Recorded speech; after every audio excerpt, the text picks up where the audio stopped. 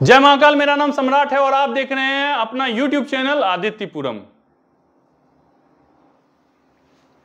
तो देखिए, आज के इस वीडियो में हम डिस्कस करने वाले हैं हाल ही में बहुत ही ज़्यादा चर्चा में रहने वाले रोग डेंगू के बारे में। तो डेंगू क्या है और उससे क्या क्या नुकसान हो सकते हैं, उसके लक्षण क्या है, उसके उपचार क्या क्या है, सारे के सारे फैक्ट्स को हम इस वीडियो में डिस्कस करेंगे। तो देखिए, डेंगू जो है बहुत ही खतरनाक रोग तो नहीं है, लेकिन इस रोग में भी आपको सतर्क रहने की आवश्यकता है। डेंगू होने का कारण क्या है कि आसपास यदि आपके पानी का जमजमाव होता है, ठीक है, यदि पानी का ठहराव होता है तो ऐसे सिचुएशन में जो है अच्छे पानी में नहीं कहता है साफ़ पानी में भी डेंगू हो जाता है। देखिए, समझने वाली बात यह है कि साफ़ पानी और गंदे पानी में अंतर क्या है। जैसे नाले का पानी है, वो गंदा पानी है, ठीक है? तो उसमें तो डेंगू होना या किसी भी जो है सूक्ष्म जीव का होना या किसी भी मच्छर का होना स्वाभाविक है। उसमें कोई बड़ी बात नहीं है। साफ़ पानी से मतलब ये नहीं पीने वाला पानी गिलास रखें, उसमें डेंगू हो जाएगा, ठीक? डेंगू होने का मतलब है जैसे कि कहीं हमारे छत पे पानी ठहर रहा है या बालकोनी में या किसी भी जगह बाथरूम के साइड जो है पानी जो है लंबे समय तक ठहर रहा है और घर से हम पाँच दिन, दस दिन बाहर हैं। तो वो पानी क्या हो रहा है कि एक जगह जमा हुआ है और किसी भी चीज़ को यदि हम छोड़ देंगे, ठीक है, खाना ही यदि आप पाँच दिन छोड़ दीजिए तो क्या होगा? ऑटोमेटिक बदबू मारेगा, सड़ेगा, ठीक है? तो पानी के साथ भी वही होता है। गंगा जी का पानी तो है नहीं कि धर देंगे, सड़ेगा, गलेगा नहीं, ठीक? तो एक स्पेसिफिक इसमें कोई सा नॉर्मल पानी में ऐसा इतना फीचर्स नहीं रहता है। वो क्या होगा? चार दिन, पाँच दिन के बाद खराब हो जाएगा। अच्छा पानी भी यदि कहीं ठहरा हुआ है, साफ़ पानी भी, ठीक है तो उसमें भी कीटाणु हो जाएँगे, यानी कि मच्छर हो जाएगी। और इस तरह के जो है साफ़ पानी में भी मच्छर पनपते हैं तो इसीलिए जो है सबसे ज़्यादा कहा जाता है कि साफ़ पानी भी उसका जमजमाव नहीं होना चाहिए। तो सबसे पहला जो है डेंगू का उपचार यो, यही है कि आप अपने आसपास सफ़ाई बनाए रखें और पानी का जो है जमजमाव नहीं करें, गंदगी से बचें। अपने चारों ओर रात में सोते समय मच्छरदानी का प्रयोग करें। घर के जो है खिड़कियों में जो है जालीदार पर्दा डालें, जिससे कि बाहर से मच्छर जो है अंदर नहीं आ पाए। सबसे पहले तो बचाव ज़रूरी है। उसके बाद समझिए लक्षण क्या क्या होता है। तो ये मच्छर है, इसका नाम है इंडीज मच्छर, ठीक है? ये मादा इंडीज मच्छर होता है, जिसके काटने से देखिए लड़की सब वो लड़की सब कहते हैं कि ठीक है। तो ये जिस मच्छर जो है, ये मादा मच्छर होता है, ठीक है? पुरुष वाला ज़्यादा खतरनाक नहीं है, ठीक है? उसको नहीं है किसी से को जो है हमारा पहुँचाए। भाई, ये जो है इंटेंसली जो है क्या करता है कि डेंगू को फैलाता है। तो एंडीज श्रेणी में जो है इस तरह के चार मच्छर पाए जाते हैं। कितने मच्छर पाए जाते हैं? चार मच्छर, ठीक है? इजिप्ट श्रेणी से एंडीज श्रेणी, यानी कि मादा एंडीज जो है वो चार तरह के पाए जाते हैं। चारों मच्छर जो है अलग अलग टाइप के वायरस को अपने शरीर से निकालता है, ठीक है? और ये जो है वाहक होते हैं। और इसके काटने से जो है, देखिए, सभी प्रकार के जितने भी ये एंडीज मच्छर है, उसके काटने से डेंगू नहीं होगा, ठीक है? ये बात आपके माइंड से सबसे पहले हटा दीजिए, कोई भी मच्छर काटेगा, आपको डेंगू हो जाएगा, ठीक है? ऐसा भी सिचुएशन ज़रूर नहीं है कि आपको एंडीज मच्छर ही काटे और आपको डेंगू हो ही जाए, ठीक है?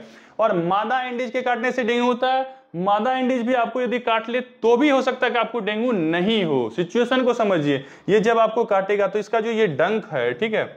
और ये डंक जो है, आपके शरीर में इंसर्ट होगा, ठीक है, हाथ में या जहाँ भी वो काटेगा। इंसर्ट होने के बाद जो है इसके बॉडी में जो भी ये वायरस होते हैं, ये वायरस आपके शरीर में जो है छोड़ेगा और छोड़ने के बाद संभावना बनती है कि आपको डेंगू हो जाए, ठीक है? बहुत रेयर केस में ये संभावना बनती है। ऐसा होता है जब ये वायरस आपके शरीर में छोड़ता है तो आपके शरीर में जो इम्यूनिटी होता है, ठीक है, आपके शरीर में जो रोग रोधक क्षमता होता है, वो इसको लड़के यहीं पे क्या करता है, खत्म कर देता है, ठीक है। दो से तीन घंटे, एक से दो घंटे, तीन घंटे के अंदर जो है वो क्या करता है, इसको खत्म कर देता है, उसको फैलने ही नहीं देता है। तो बहुत बार ऐसा होता होगा, कॉमन शरीर में हम लोगों को डेली या कहीं ना कहीं मच्छर काट लेता है और हम लोगों को डेंगू नहीं हुआ होता है। तो उससे यही समझना है आपको कि आपके शरीर का इम्यूनिटी अच्छा है। अब देखिए होगा क्या। कि एक सिचुएशन तो ये है कि आपके शरीर में इंसर्ट कर दे रहा है और आपका शरीर का इम्यूनिटी अच्छा है, लड़ रहे हैं, आपको डेंगू नहीं हो रहा है। दूसरा सिचुएशन समझिए आपको काट भी रहा है और प्रचुर मात्रा में या जितना ज़रूरी है आपके शरीर में वायरस नहीं डाल पा रहा है, जिसके कारण भी ये काटने के बाद भी आपको डेंगू नहीं हो रहा है। अब देखिए, यदि सिचुएशन क्या है कि आपको ये मादा एंडीज मच्छर काट लेता है, काटने के बाद आपके शरीर में क्या करता है कि वायरस जो है इंसर्ट कर देता है। और आपका इम्यूनिटी भी उससे लड़ने में सक्षम नहीं है, तब आपको क्या होगा? डेंगू हो जाएगा। ठीक है? अच्छा डेंगू में आप एक बहुत ही कॉमन सा वर्ड सुने होंगे प्लेटलेट्स तो प्लेटलेट्स क्या होता है? खून को जो है मजबूती देता है और उसका काम यही है कि वो आपके शरीर में इम्यूनिटी को बनाए रखे। इम्यूनिटी को क्या करे? बनाए रखे। और इम्यूनिटी यदि आपके शरीर में रहता तो ऑटोमेटिक आपको जो है ये हावी नहीं होती। इम्यूनिटी ऑलरेडी नहीं है, ये हावी हो गया है। अब क्या करेगा? जो भी बचा कुछ इम्यूनिटी है उसको वो डाउन करते जाता है, जिसके कारण शरीर में थकान, सर दर्द चित्ता चित्ता हो जाता है। ठीक है? जोड़ों में तकलीफ़ हो जाती है, तेज बुखार हो जाता है। तमाम तरह के ढेरों लक्षण जो है हो जाते हैं। तो चलिए एक एक करके इसे डिस्कस कर लेते हैं। तो यही वो खूबसूरत मच्छर है, महिला हैं, जो कि आपको स्पर्श करती हैं प्यार से और आपको डेंगू हो जाता है। ये मादा एंडीज मच्छर है। ये कौन सा मच्छर है? मादा एंडीज मच्छर है। तो यदि क्वेश्चन भी आपको आ सकता है कि किसके काटने से जो है डेंगू होता है तो आपको याद रखना है, मादा एंडीज मच्छर के काटने से डेंगू रोग हो जाता है। किसके काटने से? मादा एंडीज अब देखिए, ये चार तरह का वायरस होता है, ठीक है? एक होता है डीन वी वन एक होता है डीन भी टू, एक होता है डीन भी थ्री, एक होता है डीन भी फोर। ठीक है? सब अपने आप में जो है आपको डेंगू फैलाने के लिए सेल्फ सफिशियंट है। कोई भी प्रकार का जो है वायरस आपके शरीर में इंसर्ट हो रहा है तो आपको जो है डेंगू हो जाएगा। डेंगू के भी कुछ कैटेगरी हैं। डेंगू को जो है साइंटिस्ट तीन कैटेगरी में बांटा है तो तीनों कैटेगरी को भी हम इस वीडियो में डिस्कस करेंगे। तो बिना स्किप किए जो है ये पूरा वीडियो देखिए, ये आपके या आपके परिवार को जो है डेंगू से होने वाली जो भी असुविधा है, खतरा है इम्यूनिटी डाउन होना प्लेटलेट डाउन होना वो सारे चीज़ों से अवेयर करा देगा कि इसमें किस सिचुएशन में कैसे हैंडल करना है क्या क्या हो रहा है, क्यों हो रहा है। ये तमाम चीज़ें हम आपको बताते चलेंगे। तो देखिए, सबसे पहला चीज़ यही है कि आपका शरीर, जैसे आपको डेंगू हो गया, उसके बाद आपका फीवर बढ़ेगा, ठीक है? आपको बुखार जो है बहुत तेज आ जाता है। 200 200 नहीं 100 दो डिग्री से लेके 104 डिग्री तक जो है आपको बुखार हो सकता है। तो ये चीज़ आपको याद रखना है, जैसे आपको डेंगू, आपके शरीर में तीव्र बुखार हो जाएगी। ये एकमात्र लक्षण है, ऐसा भी ज़रूरी नहीं है आपको बुखार हो ही, ठीक है? लेकिन यदि आपको बुखार हो रहा है और कंटिन्यूसली जो है होते, आपका शरीर तप रहा है तो आपको जो है नजदीकी स्वास्थ्य केंद्र जाना चाहिए। दूसरा देखिए कि और कुछ नियम है, आपके शरीर में जो है हेडेक होगा। हेडेक मतलब सर दर्द। हेडेक मतलब सर दर्द। आपका शरीर जो है बहुत ही ज़्यादा दर्द करेगा, ठीक है? और आपके सर में जो है दर्द उठेगा, ठीक? सर जो है आपका एकदम बहुत ज़्यादा जकड़ जाएगा आपके शरीर में लगेगा कि, कि हमारा सर जो है बहुत ज़्यादा दर्द कर रहा है यानी कि आपको हेडेक होगा ठीक है? आपके शोल्डर्स में पेन होंगे ये सब जो है दुखेगा बहुत ज़्यादा ठीक है? शोल्डर्स वगैरह जो है दुखेगा बैक में पेन हो जाता है ठीक है? आपके कमर पे पेन होगा पीछे पेन होगा ठीक है? फीमर्स में पेन होगा घुटने में पेन हो सकता है और बहुत सारे ज्वाइंट्स में जो है ना आपको पेंट्स होगा पेन होगा ठीक है? ये तो हो गया हेडेक हो गया पहला। दूसरा हो गया आपको ज्वाइंट पेन ठीक है? मसल्स पेन भी होता है, आपके मसल्स में भी पेन होगा। तीसरा है कि आपके जगह, शरीर पे जगह जगह चित्ता चित्ता जो है, धब्बा हो जाएगा। ये सारे लक्षण जो है डेंगू के हैं। आपको जो है कोई भी चीज़ खाने में अच्छा नहीं लगेगा, आपके शरीर का जो है स्वाद मर जाएगा टेस्ट जो है जी का खत्म हो जाएगा। आप कोई भी चीज़ खाएँगे, आपको अच्छा ही नहीं लगेगा। डायरिया भी हो सकता है ऐसे सिचुएशन में आपको जो है कंटिन्यूसली जो है वोमिटिंग टेंडेंसी बनी रहेगी। वोमिटिंग टेंडेंसी से यहाँ तात्पर्य है कि आपको उल्टी करने का मन करेगा, ठीक है? ऐसा ज़रूरी नहीं कि आपको बार बार उल्टी हो, लेकिन उल्टी करने का मन करेगा, जी जो है हदमत करेगा, ठीक है? मन जो है आपका हदमताते रहेगा और आपको उल्टी भी हो सकती है। इस तरह का देखिए रेडिस रेडिस टाइप का जो है ना, जैसे कि कोई भी चीज़ रिएक्शन कर जाता है तो जैसे डॉटेड टाइप का धब्बा हो जाता है, इस टाइप का धब्बा भी हो जा, हो सकता है। ये भी जो है डेंगू के ही लक्षण है। तो यदि इस तरह के कोई भी लक्षण आपको होते हैं तो सक्रिय हो जाइए, ठीक है? और आँख के नीचे ये वाला जो पोर्शन है, इसके नीचे यदि आपको दर्द हो रहा हो, ठीक है तो वो भी डेंगू का लक्षण हो सकता है। इस तरह में से कोई भी लक्षण यदि आपको होता है तो नजदीकी स्वास्थ्य केंद्र अवश्य जाइए और जो है प्राथमिक उपचार लीजिए। तो आँख के नीचे यदि दर्द हो रहा है तो ये किसका लक्षण है? डेंगू का लक्षण है। आपका शरीर जो है पूरी तरह से थका हुआ फील करेगा, ठीक है? इतना शरीर आपका थका हुआ फील करेगा कि आपको सीढ़ी चढ़ने में कठिनाई होगी, कोई भी काम करने में कठिनाई होगी डेली एक्टिविटी जो है वो आप नहीं कर पाएँगे, ठीक है? बेड से आपको करबट बदलने तक में जो है परेशानी हो सकती है। उठना, बैठना, पानी लेना, ये वो कोई भी काम आप नहीं कर पाएँगे। आपका शरीर पूरी तरह से जो है सुस्त हो जाएगा, आपका एनर्जी जो है वो ही खत्म हो जाएगा। ठीक, आपका शरीर पूरा थका हुआ महसूस करेगा। अच्छा देखिए, एक चीज़ आपको ये भी याद रखना कि बहुत ज़्यादा अफवाह फैले रहती है कि सुबह दिन के टाइम में ही मच्छर काटता है, तभी जो है डेंगू होता है, ऐसी कोई बात नहीं है, ठीक है? मादा एंडीज के काटने से डेंगू होता है और ये कभी भी 24 घंटा में आपको काट सकती है, दिन रात आपको डेंगू हो जाएगा, ठीक है? यदि बाय दी बे इंसर्ट करे वो वायरस को आपके शरीर के अंदर, ठीक है? वायरस कितने प्रकार का होता है? तो चार प्रकार का वायरस होता है, ठीक है? मादा एंडीज के चार अलग अलग श्रेणियाँ होती है, जो कि आपके शरीर के अंदर वायरस पहुंचाती है, और उसमें से V I R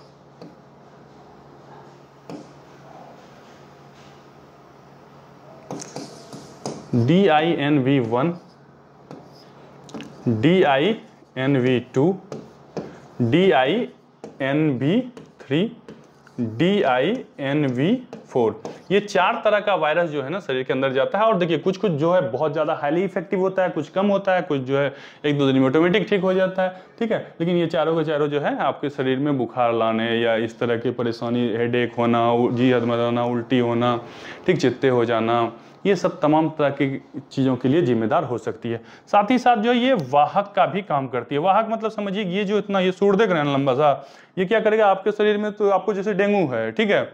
और ये मच्छर एंडीज ग्रुप का है। कौन से ग्रुप का है? एंडीज ग्रुप का। हाँ ऐसा नहीं है दूसरा मच्छर काटेगा आपको और वो किसी को काटेगा तो उसको होगा, नहीं होगा। ठीक है? सभी मच्छर के काटने से नहीं हुआ। इंडीज ग्रुप का मच्छर है और इसके शरीर में जो है वायरस नहीं भी है। देखिए, सारे मच्छर के काटने से आपको नहीं होता, ये हम आपको ऑटोमेटिक बताएँ। वायरस जो है स्पेसिफिक एंडीज मच्छर में भी कुछ कुछ ही ऐसे प्रजाति है तीन चार प्रकार का, जिसके शरीर में जो है ये वायरस पाया जाता है। ठीक है? और कुछ कुछ वायरस ही इसमें, जैसे चार तरह के जो है वायरस जो है खतरनाक है और जिस चार मतलब ये चारों अलग अलग तरह के प्रजाति में पाए जाते हैं। सभी एंडीज के काटने से नहीं हुआ। लेकिन हाँ इस चारों में से भी ऐसा हो सकता है, जिसके भी काटने से नहीं हो, उसके शरीर में प्रचुर मात्रा में जो है, या उसका शरीर में उतना वायरस नहीं हो जो आपके शरीर में वो इंसर्ट कर सके। लेकिन देखिए सिचुएशन ऐसा है कि यदि इसके शरीर में पूरा वायरस नहीं है, फिर भी यदि आपको काट लिया तो आपको तो कोई नुकसान नहीं हुआ। यदि आप पहले से डेंगू संक्रमित हैं, फिर आपको यदि काट लिया तो ये आपके शरीर से ही कुछ वायरस अपने शरीर में इंसर्ट कर लेगा। और ये जब दोबारा किसी को काटेगा तो उसको भी डेंगू हो जाएगा। अगला सिचुएशन देखिए कि डेंगू जो है, इसको तीन कैटेगरी में बांटा गया है, ठीक है? क्लासिक हेमर हेजिक और सॉक सिंड्रोम शॉक सिंड्रोम क्या होता है कि इसमें आदमी डर जाता है बहुत। ही भाई, आप बचेंगे, नहीं बचेंगे, इतना शरीर जो है काम नहीं कर रहा है ये हो गया, वो हो गया। आदमी पूरी तरह से घबरा जाता है। तो ये वाला सिचुएशन जो है ना थोड़ा सा पैनिक सिचुएशन हो जाता है। लेकिन ये इसमें घबराने वाली बात नहीं है, ये इसमें आदमी जल्दी रिकवर कर जाता है। आदमी का शरीर पूरी तरह से जो है सुस्त पड़ता है, उसको जो है सांस उस लेने में भी दिक्कत होती है। और इसमें क्या होता है कि कंटिन्यूसली जो है प्लेटलेट्स घटता नहीं है। ठीक है? एक जगह घट के वहाँ पे स्टेबल हो जाता है और वहाँ से बढ़ रहा होता है। धीरे धीरे करके बढ़ता है, ठीक है? लेकिन इसमें क्या होता है? सांस उस लेने में कभी कभी फूलने लगता है, दम फूलने लगता है। तो शॉक सिंड्रोम होता है, अंदर से बहुत ज़्यादा आदमी डर जाता है। ऐसे सब दम फूलने लगता है, ठीक है? तो ये सिचुएशन ज़्यादा खतरनाक सिचुएशन नहीं है, ये तीसरा सिचुएशन है और ये सिचुएशन नॉर्मल है। इसमें प्लेटलेट्स नीचे तो आता है और एक पार्टिकुलर टाइम के बाद ये ऑटोमेटिक धीरे धीरे करके ऊपर जाने लगता है और प्लेटलेट जो है रिकवर कर जाता है। तो ये सिचुएशन सिर्फ़ डराने वाली सिचुएशन है, ये तीसरा सिचुएशन है, ठीक है?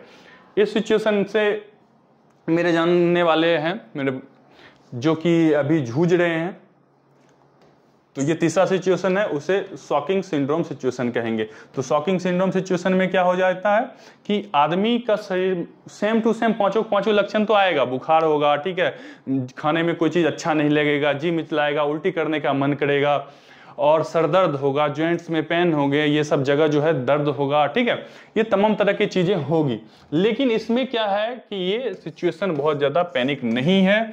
इसमें डाउन होने के बाद क्या होता है कि एक पार्टिकुलर टाइम के बाद उसका प्लेटलेट्स स्टेबल हो जाता है और धीरे धीरे करके बढ़ने लगता है और ये रिकवर हो जाता है। सबसे जल्दी और ज़्यादा रिकवर का चांस इसी में रहता है। तो ये सिचुएशन जो है नॉर्मल सिचुएशन और ऊपर वाला सिचुएशन देखिए ये सिचुएशन थोड़ा सा खतरनाक सिचुएशन है, ठीक है? इसमें प्लेटलेट्स एक बार, दो बार इस तरह से डाउन होता है। एक बार डाउन हुआ, फिर डाउन हुआ, ठीक है? तीसरे तीन बार भी डाउन हो सकता है। और उसके बाद यदि सही ट्रीटमेंट मिले तो इस सिचुएशन में भी रिकवरिंग रेट बहुत बढ़िया है।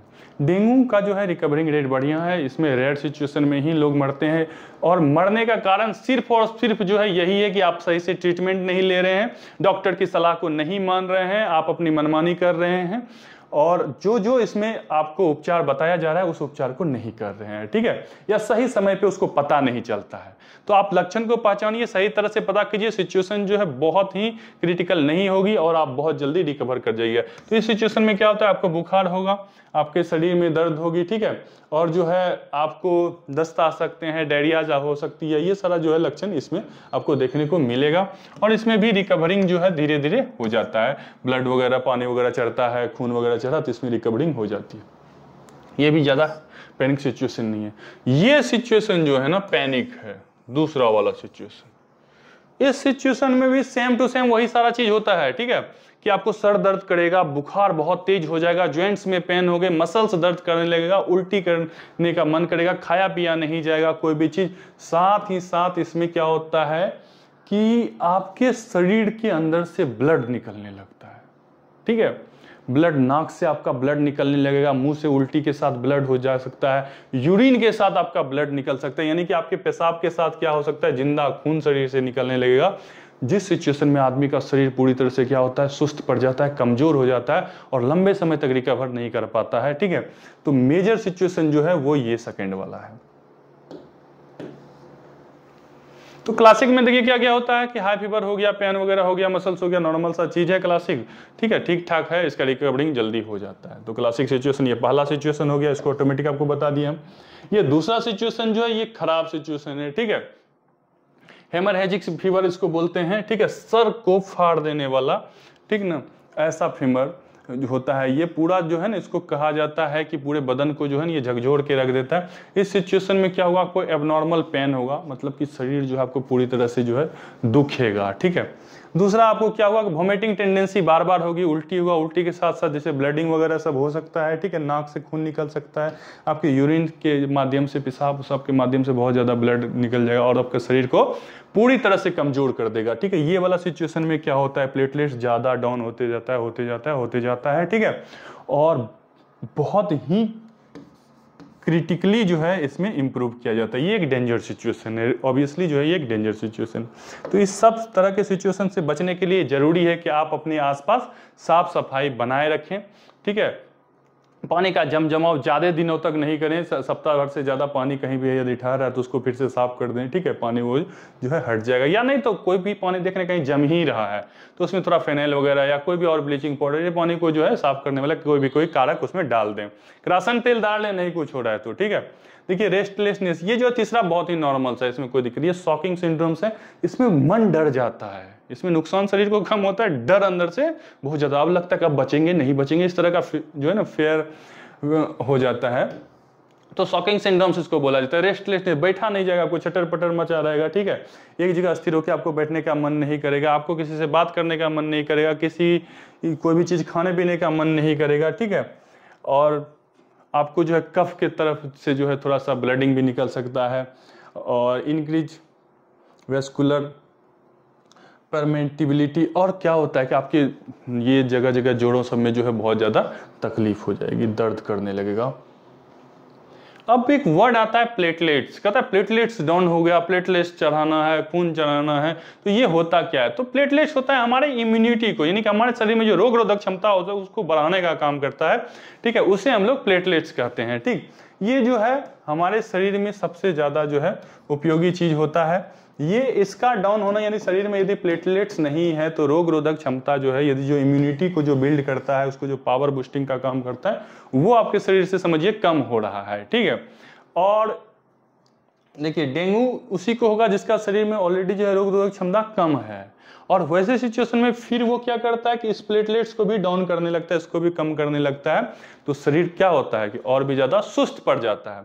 तो प्लेटलेट्स बढ़ाने के लिए क्या क्या खाना चाहिए या प्लेटलेट्स कंटिन्यू डाउन हो रहा है तो उसके लिए क्या करना चाहिए, ये समझिए, ठीक है?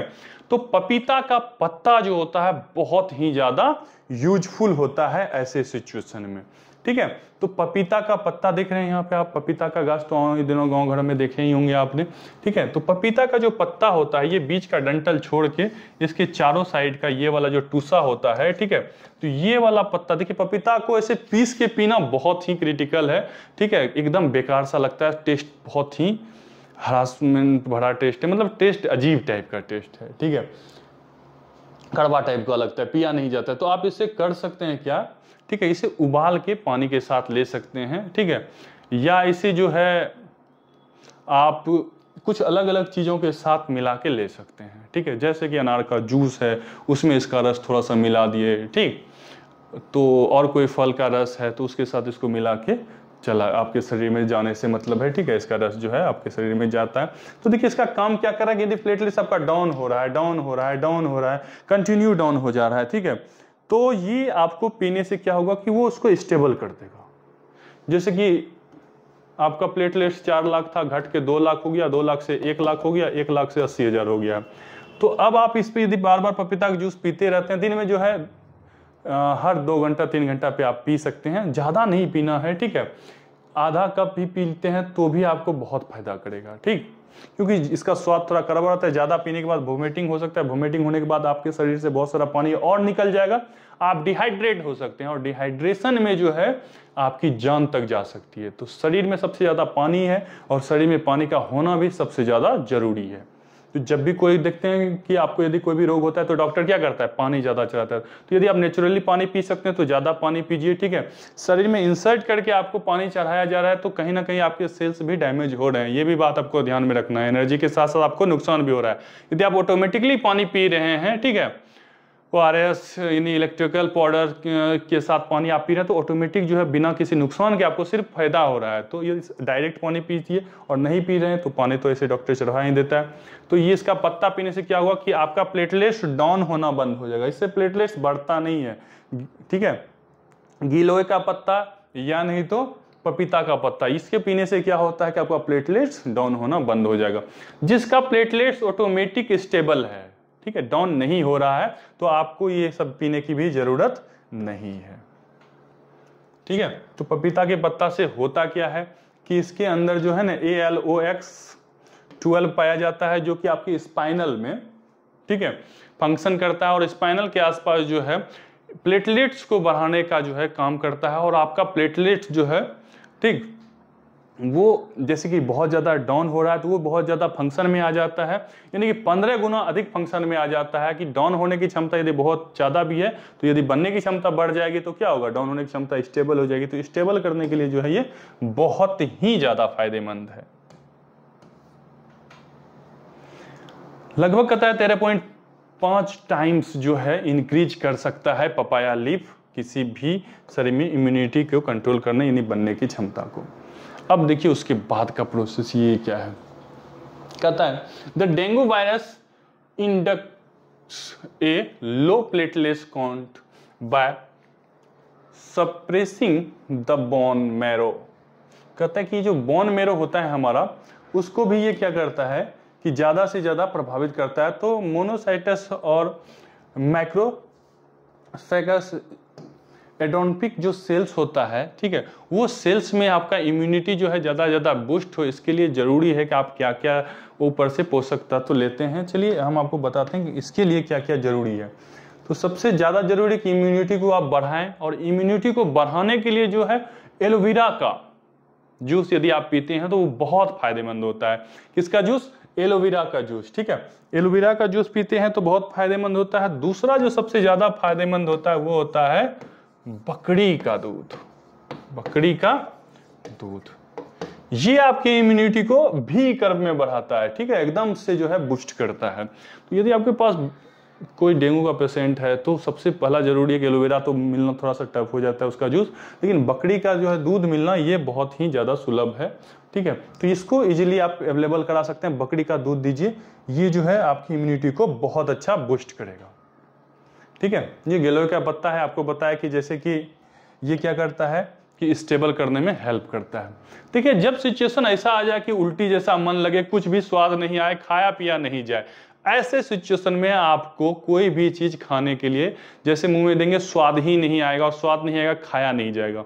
तो इस सिचुएशन में आप एक काम कर सकते हैं, अनार का जूस, ठीक है? बेदाना का जूस जो है, आप पी सकते हैं। ये जो है आपका टेस्ट को जो है विदाउट इफ़ेक्टिव आपको टेस्ट लगे नहीं लगे, ये आपके शरीर में जो है, ये आपका बॉडी आपको अलाउ करेगा पीने के लिए, ठीक ना? ठीक, इसको जो है, वैसे क्या होगा जब टेस्ट हमारा वर्क नहीं करता, कोई भी चीज़ सॉरी मन नहीं करता है खाने की, जैसे आप मुँह में लेंगे, आपको वो जो है खट्टापन टाइप का लगेगा मन करेगा फेंक दे, नहीं खाएँ। ये अनार के जूस के साथ ऐसा जो है, कोई समस्या आपको नहीं हुई, इसमें थोड़ा सा जो है काला नमक, जीरा पाउडर जो है बुका हुआ जीरा मिलाइए और इसका जूस पीजिए। ये जो है आपके शरीर को ताकत भी देगा इम्यूनिटी को भी बूस्ट करने में हेल्प करता है। ठीक है, कोई भी फल खाते हैं ना, उसमें प्लेटलेट्स होता है। ये माइंड में बात जो है दिमाग में ले लीजिए कि कोई भी फल आप खाते हैं तो उसमें क्या होता है? प्लेटलेट्स होता है। ठीक है, जैसे बोलता है कि कीवी कीवी खाइए। ठीक है तो कीवी में भी क्या है? प्लेटलेट्स है। हर फल में प्लेटलेट्स है। कीवी में ऐसा नहीं है बहुत ज़्यादा प्लेटलेट्स है, लेकिन उसका जो है टेस्ट ऐसा होता है कि यदि आपको बॉडी जो है कोई भी चीज़ खाने के लिए अलाउ नहीं कर रहा है तो वो उसका टेस्ट ही ऐसा है कि आपका शरीर जैसे उसको खाइएगा, कोई खास फ़र्क नहीं पड़ेगा, उसमें कोई खास ज़्यादा टेस्ट नहीं रहता है और अनार को भी आप नॉर्मली खा सकते हैं। ये सारा चीज़ जो है, आपको कोई चीज़ नहीं भी खाने का मन करे, उस सिचुएशन में भी आपका शरीर इसको अलाउ करेगा, खा सकते हैं उसको, ठीक है? तो इसीलिए डॉक्टर ये सब चीज़ रिकमेंड करता है। अब आते हैं एलोवेरा का। तो एलोवेरा का जूस जो है ये भी जो है क्या करता है? शरीर को बुस्ट करता है। तो सबसे पहले हमने इस वीडियो में क्या समझा कि क्या क्या सिम्टम्स हैं। सिम्टम्स क्या क्या है? आपके शरीर में जो है दर्द होगा, सर दर्द करेगा, बुखार तेज हो जाएगा, जोड़ों में दर्द होगी बैक में पेन हो जाएगा और उल्टी करने का मन करेगा, शरीर जो है पूरा थका थका फील करेगा। तो ऐसे सिचुएशन में आप समझ जाना कि आपको डेंगू का खतरा मंडरा रहा है और आपको निकट के जो है स्वास्थ्य केंद्र में जाना चाहिए और डॉक्टर से सलाह लेनी चाहिए। मेडिसिन क्या क्या इसमें आपको लेना है? देखिए पारासीटामोल एक कॉमन मेडिसिन है, बुखार में, सर दर्द में जो है, काम आता है। ज़्यादातर आजकल देखते हैं मार्केट में कि डोलो 650 जो है, ये बहुत ज़्यादा वर्क करता है। यानी कि पारासीटामोल ही इसमें भी मिला रहता है। तो पारासीटामोल जो है, एक जो है अच्छा मेडिसिन है जो कि आपको इस सब सिचुएशन में रिकमेंड किया जा सकता है। डॉक्टर के द्वारा रिकमेंडेड है। ठीक और जो मेडिसिन हम आपको बताए कि पपैया का पत्ता, गिलोय का पत्ता, ये आपको, जो इम्यूनिटी है उसको स्टेबल करेगा, ठीक है? और बकरी का दूध और अनार का जूस जो है, ये आपकी इम्यूनिटी को बूस्ट करेगा। ये सब जो है इम्यूनिटी बाकी आप जो है रेगुलर टेस्ट कराते रहिए, जिससे आपको पता चलेगा कि आपका प्लेटलेट्स घट रहा है, बढ़ रहा है, ठीक है? यदि आपके आसपास सुविधाएँ उपलब्ध है और नहीं है तो आप अपने नज़दीकी स्वास्थ्य केंद्र में भर्ती हो सकते हैं। गिलोय का रस, एलोवेरा का रस, ये क्या करता है कि एलोवेरा का रस जो है इम्यूनिटी को बढ़ाता है। इम्यूनिटी को क्या करता है? प्लस प्लस करता है, बढ़ा देता है, ठीक है? अनार का रस भी क्या करता है? इम्यूनिटी को बढ़ा देता है। पपीते का रस कुछ नहीं करता है, बस ये करता, क्या है कि आपको इम्यूनिटी यदि घट रहा है प्लेटलेट्स डाउन हो रहा है तो उसको ये रोक देगा, ठीक है? गिलोय का रस भी वही करता है बैलेंसिंग का काम करता है, आपकी इम्यूनिटी को रोक देता है। ये सब चीज़ समझना है। ऑलरेडी यदि आपका इम्यूनिटी यदि रुका हुआ है, घट नहीं रहा है तो पपीता का रस या गिलोय का रस नहीं पीना है, ठीक है? अपने मर्ज़ी से, अपने दिमाग से सोच के कोई भी डिसीज़न नहीं लेना है। वही करना है जो डॉक्टर आपको कहें या डॉक्टरी, डॉक्टर सलाह दें। तो इस तरह से आज के वीडियो में हमने समझा कि डेंगू जो है, उससे क्या क्या खतरा है, उसके क्या क्या लक्षण हैं और उसके क्या क्या उपचार हैं। उम्मीद करते हैं ये वीडियो जो है आपके आपके परिवार के लिए बहुत ही ज़्यादा हेल्पफुल रही होगी। यदि आपको ये वीडियो इन्फॉर्मेटिव लगती है और आपको लगता है कि आपके आसपास पड़ोस में कोई व्यक्ति डेंगू से संक्रमित है तो उसे ये वीडियो ज़रूर से ज़रूर भेजें। इससे अवेयरनेस फैलेगी, लोगों को पता चलेगा कि डेंगू एडजेक्ट है क्या और क्या क्या इसके लक्षण हैं और इससे सिचुएशन में हमें पैनिक नहीं होना चाहिए। और किस कैटेगरी में हम आ रहे हैं? डेंगू के तीन कैटेगरी आपको बताए। तीनों कैटेगरी में से किस कैटेगरी में आ रहे हैं? और उसके अकॉर्डिंग जो है, नज़दीकी स्वास्थ्य केंद्र में आपका सही से उपचार हो। तो चलिए जाते जाते हम आपको एक बार फिर से रिकैप करते हुए चले जाते हैं। कि यदि आपके आस पड़ोस में साफ़ सफ़ाई नहीं रहती है, पानी का जल जमाव होता है तो वहाँ पे पानी ठहरेगा बहुत दिन, यदि दो दिन, चार दिन, पाँच दिन, दस दिन के बाद वो पानी सड़ेगा और उसमें जो है कीटाणु उपलब्ध होंगे, यानी कि मच्छर हो सकता है और उसी मच्छर में से मादा एंडीज भी हो सकता है। और मादा एंडीज मच्छर के काटने से डेंगू रोग होता है और ये चार कैटेगरी का होता है D I N V one D I N V two D I N V three D I N V four चारों के चारों कैटेगरी जो है घातक हैं अपने आप में। और उसके बाद डेंगू को तीन कैटेगरी में जो है बांटा गया है। पहला कैटेगरी है क्लासिक, जिसमें कि आपका सर दर्द करेगा और आपको तेज बुखार आएगी और ज़्यादा इस कैटेगरी में खतरा नहीं है। तो क्लासिक का रिकवरी भी बहुत जल्दी हो जाता है। तीसरा कैटेगरी है shock syndrome shock syndrome category में क्या होता है कि आदमी अंदर से डर जाता है, क्योंकि उसका प्लेटलेट्स डाउन होता है, महिलाओं के साथ ज़्यादा होता है, बच्चों के साथ ये घटनाएँ ज़्यादा होता है। उसको जब भी डेंगू होता है तो शॉक सिंड्रोम डेंगू होता है। शॉक सिंड्रोम बहुत जल्दी ठीक हो जाता है, घबराने वाली कोई बात नहीं है। इसमें क्या होता है, सांस लेने में दिक्कत होती है, दम फूलने लगता है, अंदर से मन बहुत ज़्यादा घबरा जाता है। मन सोचता है कि हम जिएँगे, बचेंगे कि नहीं, कुछ हो नहीं जाए, हमको इस तरह की जो है भावनाएँ मन में उत्पन्न होने लगती है, जिसके कारण प्लेटलेट डाउन होने के कारण ये स्वाभाविक है। और शॉक सिंड्रोम तीसरा जो घटना है, उसमें प्लेटलेट्स जल्दी ही स्टेबल हो जाता है और जल्दी जल्दी रिकवर भी हो जाता है, ठीक हो जाता है। और उसके बाद बीच का जो बताए थे आपको, ठीक है हेमरहेजिक फीवर होता है, डेंगू का तीसरा। डेंगू जो दूसरा नंबर का, जो काफ़ी खतरनाक होता है, उसमें क्या होता है कि आपको बहुत तेज बुखार होगा, सर भी दर्द करेगा, बदन में जोड़ों में तकलीफ़ होगी मसल्स जॉइंट पेंट तो बहुत ज़्यादा होगा ही होगा। उसके साथ साथ जगह जगह आपको धब्बा धब्बा आ जाएगा। साथ ही साथ आपको वोमिटिंग टेंडेंसी बार बार बनेगी और वोमिटिंग के साथ साथ आपको नाक से, मुँह से जो है खून भी जा सकता है। यहाँ तक कि मज पेशाब के रास्ते से भी आपको खून जो है निकलना चालू हो जाएगा, जो कि बहुत ही खराब सिचुएशन होता है, क्योंकि इम्यूनिटी ऑलरेडी आपका डाउन हुआ रहता है प्लेटलेट्स डाउन होता है तो वो सिचुएशन में जो है आप हमेशा जो है हॉस्पिटल नज़दीकी स्वास्थ्य केंद्र में शीघ्र जाएँ, डॉक्टर के सलाह से ही कोई भी चीज़ करें। हाँ प्राथमिक उपचार में हम आपको बताएँ, यदि आपको बुखार आ जा रहा है, ठीक है तो इस तरह का आपको यदि कोई भी चीज़ समझ में आ रहा है, यदि आपको लग रहा है तो डॉक्टर की तरफ़ से रिकमेंडेड है कि आप पारासीटामोल जो है, एक सेंट्रिक दवाई है, इसे आप खा सकते हैं और जल्द से जल्द जो है, नज़दीकी स्वास्थ्य केंद्र में जाइए।